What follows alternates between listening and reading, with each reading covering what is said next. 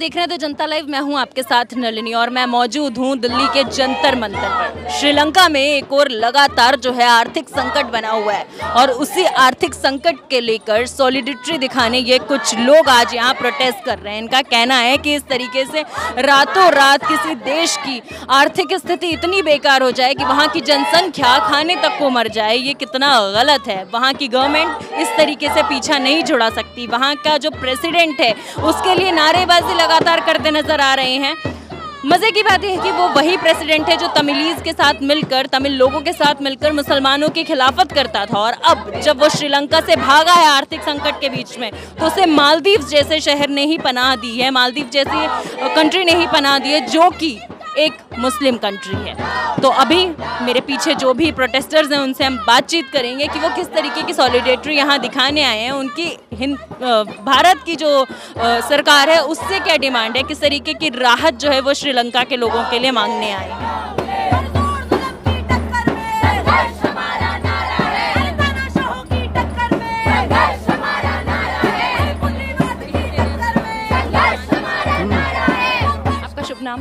I am मुदिता मेरा नाम मुदिता है। जी आप छात्रा हैं? जी। अभी हाल फ़िलहाल में आप लोग जो है यहाँ प्रोटेस्ट करते नज़र आए हैं और सॉलिडेटरी दिखाते नज़र आए हैं श्रीलंकन लोगों को लेकर। क्या क्या पूरी आपकी जो प्रोटेस्ट का ज़रिया है किस वजह से कर रहे हैं? एक छोटा सा शॉर्ट टर्म में हमें बता दी। आज यहाँ पर हम सॉलिडारिटी प्रोटेस्ट पब्लिक मीटिंग करने आए हैं यहाँ पर श्रीलंकन जनता के साथ में।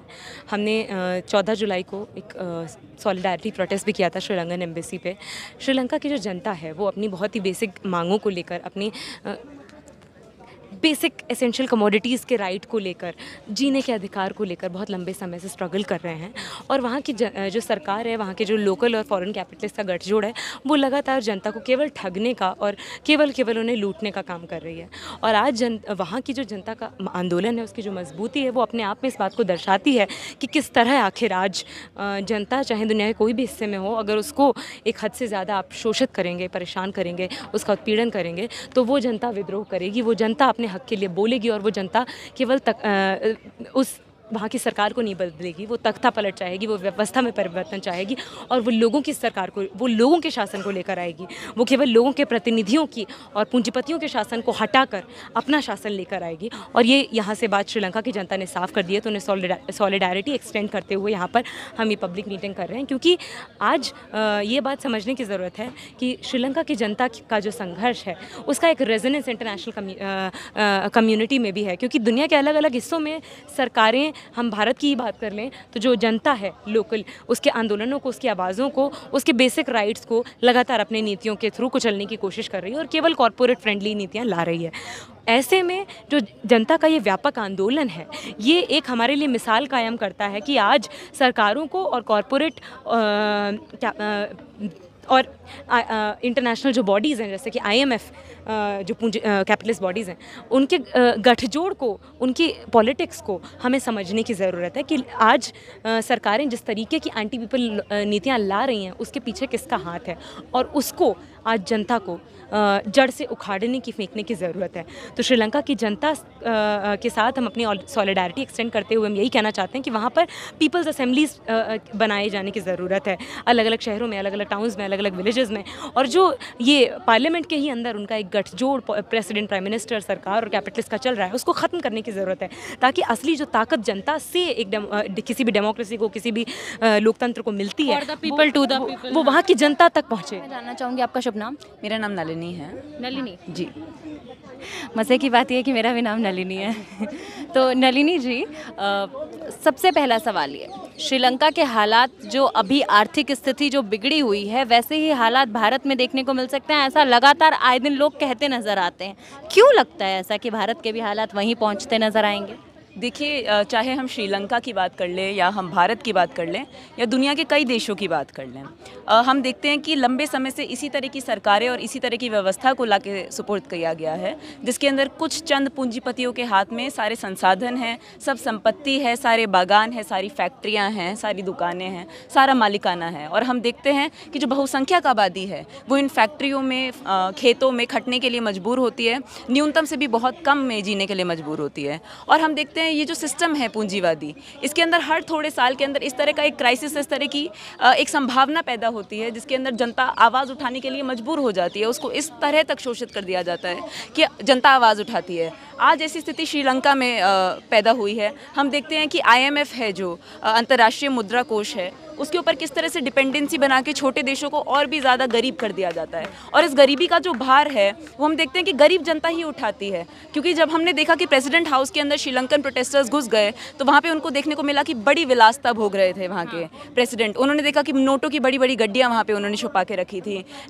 सब सुख सुविधाओं से लैस उनका महल था वहाँ पर और जो गरीब जनता थी, वो उसको देख के यही समझ पाई कि हमसे खून चूस के ये सारी जो पूंजीपति वर्ग है, ये जो सरकारी नौकर हैं, ये सब संपत्ति खाते हैं। तो इसी तरह की स्थिति भारत में भी है और केवल भारत में नहीं, मैं कहूँगी दुनिया के तमाम देशों के अंदर आज एक आर्थिक व्यवस्था है, जिसके कारण यही स्थिति बनी हुई है। और इसके कारण ये स्थिति बनती है कि आने वाले सालों के अंदर जगह जगह पे हमको इस तरह के विद्रोह देखने के लिए मिलेंगे और इस तरह की व्यवस्था परिवर्तन की आवाज़ें और बुलंद होती हुई दिखाई देंगी। कहते हैं कि जब परिवार में कोई बीमार होता है या किसी को कोई ज़रूरत होती है तो परिवार के मुखिया से बात करते हैं। ऐसे ही जब जनता जो है दुख में होती है तो सरकार को गुहार लगाती है अपने मुखिया को गुहार लगाती है। आम जनजीवन की क्या है आ, मांग? रोटी कपड़ा और मकान। और अभी ना रोटी है ना कपड़ा है ना मकान है।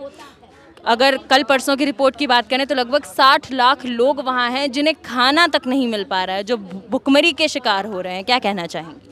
देखिए मामला ये है कि आ, इस तरह की स्थिति हमने भारत में भी देखी लॉकडाउन के समय में और तमाम देशों में। हमने देखा कि श्रीलंका में कोविड लॉकडाउन के बाद से खासकर स्थिति और भी ज़्यादा ख़राब होती गई। इस कदर ख़राब हो गई कि वहाँ पे बड़े बड़े पावर कट देखने के मिले और यहाँ तक कि जैसे आप कह रही हैं साठ लाख से ज़्यादा लोग भूखमरी के कगार पर आ गए हैं कि उनको इतना नहीं है कि वो खा के अपने ज़िंदा रह पाए। हाँ तो जब ऐसा होता है तभी जो लोगों का सरकार के प्रति या फिर व्यवस्था के प्रति अविश्वास बढ़ता है। जब ऐसा होता है कि उनको मरने के लिए छोड़ दिया जाता है तब व्यवस्था परिवर्तन का सवाल उठता है कि अगर इस व्यवस्था के अंदर लाखों लोगों को भूखा मरने के लिए ही छोड़ दिया जाएगा तो ऐसी व्यवस्था को बदल देना चाहिए ऐसी व्यवस्था को गिरा देना चाहिए। भारत में तो ऐसी व्यवस्था नहीं है। भारत में तो सब कुछ ठीक है। फिर क्यों लगातार कहा जा रहा है कि भारत में भी श्रीलंका जैसे हालात देखने को मिल सकते हैं? भारत में तो सब कुछ बहुत अच्छा चल रहा है। जी देखिए तरह तरह की रिपोर्टें हम पढ़ते हैं। हाँ। और यहाँ कुछ समय पहले एक सरकारी रिपोर्ट आई थी जिसके अंदर भारत के अंदर जो गैर बराबरी है उसके ऊपर बात करी गई थी। उस रिपोर्ट में मैं आपको बता दूँ ये कहा गया कि जो महीने में पच्चीस हज़ार रुपया कमा रहा है वो दस प्रतिशत टॉप के अंदर है।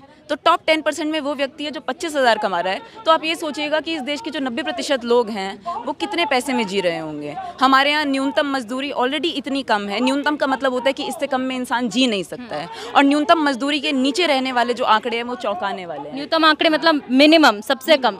सबसे कम से भी कम रहने के लिए करोड़ों लोग जब हमारे देश में मजबूर होते हैं तब कोई बोले कि यहाँ पे सब चंगा सी तो ये हम मानने के लिए तैयार नहीं होंगे। जब भुखमरी के आंकड़े बढ़ते हुए हमने कोविड लॉकडाउन में और उसके बाद देखे हम देख रहे हैं बड़े बड़े सरकारी विभागों का निजीकरण हो रहा है। हम देख रहे हैं शिक्षा का निजीकरण हो रहा है। स्वास्थ्य सेवाएँ पूरी ठप पड़ी हुई, हमको कोविड लॉकडाउन में नज़र आई, अभी भी नज़र निजीकरण की बात की, एसबीआई को भी जो है प्राइवेट करने की बात चल रही है। देखिए इस सरकार का एक ही फंडा है कि जो भी सरकारी संपत्ति है उसको बेचो बेचो बेचो और जनता को जनता का इतना खून चूस लो कि सरकारी संसाधन और सरकारी व्यवस्था के नाम पे कुछ बचे ना। किस सरकार का? आ, ये भाजपा सरकार के लिए भी कहा जा सकता है और तमाम अन्य सरकारों के लिए भी कहा जा सकता है। अगर कोई सरकार अपने आप को व्यवस्था से हटकर दिखाना चाहती है कोई चुनावी पार्टी राजनीतिक पार्टी तो हम ये मानने के लिए तैयार नहीं है। क्योंकि जो अपने आप को विकल्प की तरह दिखा के भी पावर में आते हैं अलग अलग स्टेट्स के अंदर वो भी हम देखते हैं उसी तरह का निजीकरण का मॉडल फॉलो एक सवाल बहुत अहम उठता है लगातार हम श्रीलंका में देखते थे कि जब वहाँ का जो प्रेसिडेंट है, वो तमिल लोगों के साथ मिलकर मुस्लिम लोगों की जो है, खिलाफत करता नज़र आता था।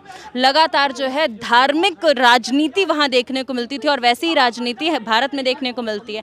एक ही कगार पे, एक ही पलड़े पे तो नहीं नज़र आ रही हैं चीज़ें? देखिए 1970 के दशक में हमने श्रीलंका में ये देखा कि भाषाई और धार्मिक मतों का आपस में बहुत बड़ा लड़ाई रही, झगड़ा रहा सिविल वॉर की यहाँ तक की हमने सिचुएशन वहाँ पे देखी। तो लंबे समय तक जो वहाँ की रूलिंग एलिट है, उन्होंने जनता को, मेहनतकश वर्ग को, धर्म के आधार पे, भाषा के आधार पे एक दूसरे को लड़ा के खुद, खूब अपने महलों में चुप के मज़े किए। उन्होंने सब विलासता भोगी। और भारत में भी हम यही देखते हैं कि आज हमको धर्म के नाम पे, जाति के नाम पे आपस में बांटा जाता है, पर दरअसल ज़रूरत जो श्रीलंका में हुए, उससे हमको प्रेरणा लेने की ज़रूरत है कि हम ये धार्मिक झगड़ों को छोड़ें और मेहनतकश जनता मेहनतकश होने के नाम पे अपनी मूलभूत ज़रूरतों के नाम पे साथ आए और इस व्यवस्था के खिलाफ अपनी आवाज़ मौजूद है। मैम आपका नाम? मेरा नाम माया है और मैं महिला संगठन सेंटर फॉर स्ट्रगलिंग वुमेन से हूँ। आज आप लोग सॉलिडेटरी लेकर आए हैं श्रीलंकन लोगों के लिए। किस तरीके की सॉलिडिटी आप जता रहे हैं? आप किस तरीके का गुस्सा दिखा रहे हैं सरकार को? क्या क्या मांगे हैं आपकी?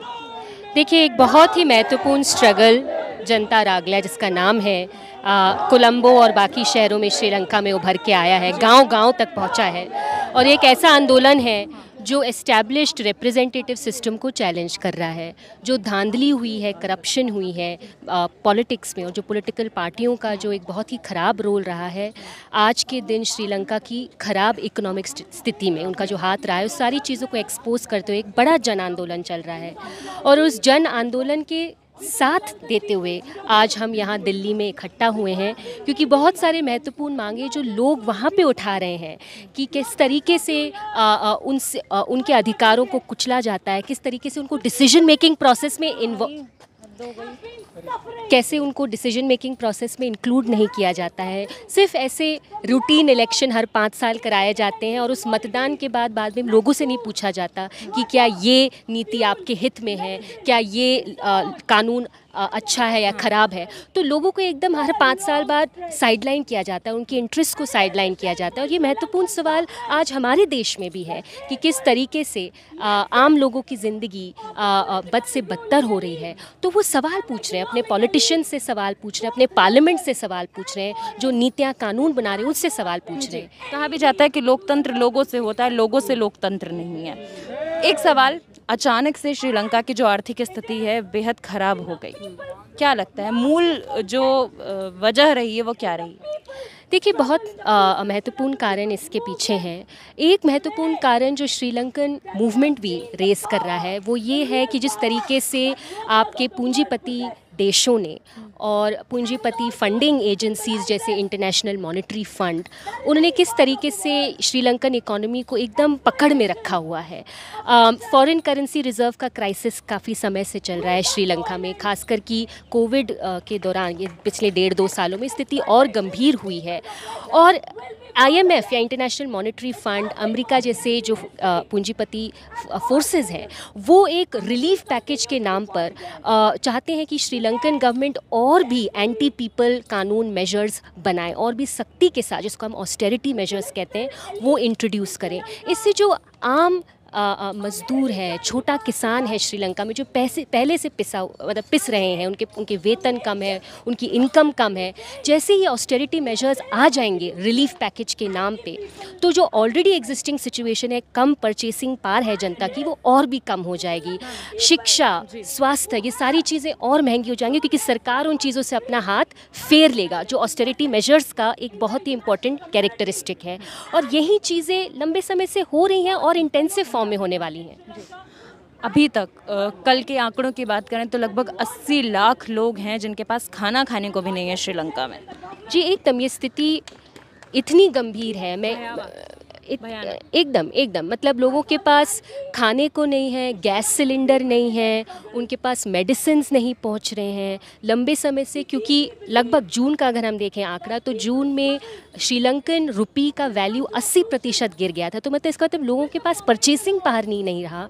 उसके ऊपर सप्लाई की दिक्कत है क्योंकि आ, इस श्रीलंकन गवर्नमेंट में आ, पहले से ही बहुत ख़राब नीतियाँ अपनाई जैसे फर्टिलाइज़र्स पर उन्होंने इम्पोर्ट्स पे बैन कर दिया लास्ट ईयर 2021 में तो छोटे किसानों के पास फर्टिलाइज़र की कमी रह गई तो आउटपुट जो एग्रीकल्चर खेती से जो आउटपुट है वो कम हुआ। तो फ़ूड सप्लाई पहले से कम है परचेसिंग पार कम हो रहा है तो लंबी लंबी लाइनें हैं राशन के लिए पानी के लिए गैस के लिए फ्यूल के लिए और लोग लाइन में मर रहे हैं। इसी स्थिति से आंदोलन पैदा हुआ है मार्च अप्रैल से शुरू हुआ है बहुत इम्पोर्टेंट फॉर्म में। और आज सौ दिन आज सौवा दिन है इस आंदोलन का और उसी को मार्क करते हुए और उसी स्पिरिट को सल्यूट करते हुए जो मतलब मुश्किलों में दिक्कतों में लोग आए हैं बाहर, उसको सल्यूट करते हुए आज यहाँ पे जंतर मंतर पे हम लोग आए हैं।